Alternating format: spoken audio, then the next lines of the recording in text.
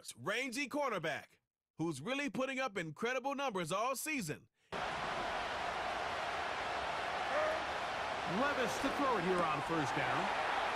He'll look for Pollard out of the backfield.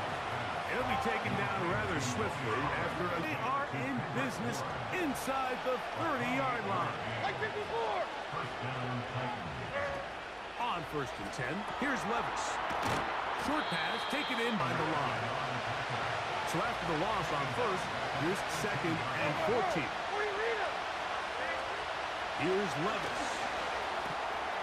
Gets it away quickly, and it's caught. Tight end position, and depending on the speed and the run after catch ability of the tight end, sometimes it can lead to some of the biggest gains.